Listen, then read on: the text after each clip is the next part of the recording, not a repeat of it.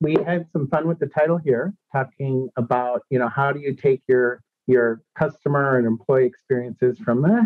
to wow, um, and how you can do that uh, leveraging uh, conversational AI uh, and bringing that into the customer experience and the the employee experience. And really, you know, the reason you do that is to forge stronger ties with your customers um, you know in a post-pandemic world but in general and we'll talk about some reasons about why that's so important